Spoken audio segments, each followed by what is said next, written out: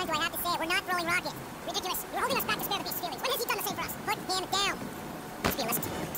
Oh, I'll show you what a lesson looks like. Knock it off, guys. We're supposed to be professionals. We're better than this. I'm not. Letting a beast Chitauri installation stop our progress is unprofessional.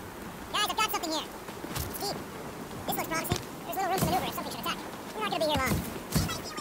We'll make one if we have to. Yep, definitely something grows behind here. Drax, can you chuck that through the stink wall? I fear I will regret this.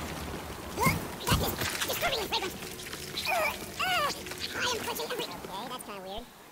Hello? Anybody?